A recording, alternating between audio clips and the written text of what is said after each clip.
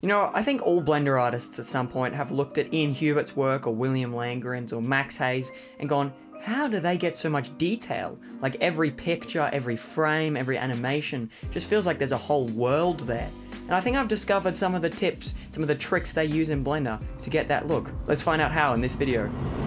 So let me show you tip number one in action. Have a couple of assets, chuck them in your asset library, and then you can just spam it around to create so much detail. So let me show you how it was used in this scene here. So I've got my pipe assets here. They're actually free. I downloaded them from Max Hay. I'll leave the link to that in the description. Anyway, if you want to make this part of your asset library, what you want to do is you want to make a separate Blender file. For example, this one right here that has all the pipe assets in it.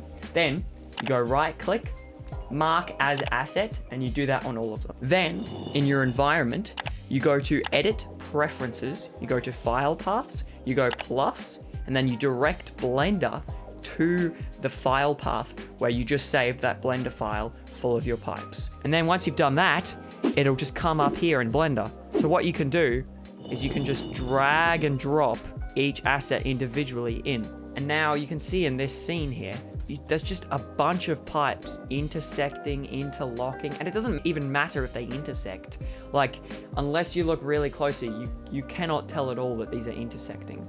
It's just creating this little world. Bam this around a bunch, and you just create this, this detail, when in reality, it's just a couple of assets scaled and duplicated around everywhere. So over time, you'll build up your asset library, you'll make things for projects, you'll put it in your asset library, so that whenever you need something detailed, you can just go drag and drop duplicate it, and spam it around. Make sure you like and subscribe and leave a comment down below suggesting what I should do for my next video.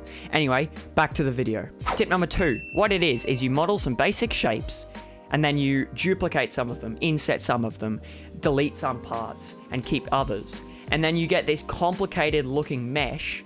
And then once you have that, you can just duplicate it around a bunch and no one will be able to tell. You've got this thing right, right here, which is just the same thing duplicated, right? And then the same thing duplicated over here, rotated. And then the same thing duplicated behind it. And then you've just got a wall of intricate, minute clockwork detail that in the final render looks amazing. By the way, you might be wondering how to texture your complex models like this.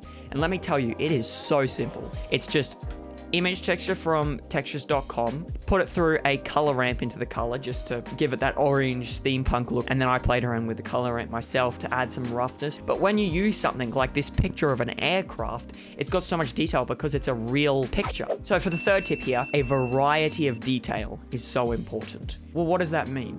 So getting your small detail, like these aerials here, getting that medium detail, like these buildings, these panels, and then large details, like these giant buildings. So how do you create this variety of detail? Well, as you're creating your scene, try and find what's missing, and if you can see a lot of small detail, well then of course you need some large detail to complement that. So with this scene, I was struggling to see what it needed, and then I realized it was a small detail. So what I did is I added these floating sci-fi things, but the important thing is this aerial. It's just a cylinder with extrusions and stuff, and then with the same thing, I just duplicated it and rotated it. Another small detail that I used in this scene was the texturing for these sci-fi buildings. If you want to learn how I did that, check my video on how to use displacement for sci-fi texturing. Trust me, you'll learn a lot. So, my fourth and final tip is lighting. If you have some specific concentrated spotlights that have a small spot size that just focus the light on your subject, you don't have to worry about the quality of your details. Since there's not much light that's going to reach your details, your texturing and modeling can be very basic. You're essentially just creating a silhouette. And when you're creating a silhouette, intricacy is very easy to create. Thanks for watching, guys. I hope you learned something and you enjoyed. Make sure to like and subscribe, leave a comment, and keep going with Blender. You got this.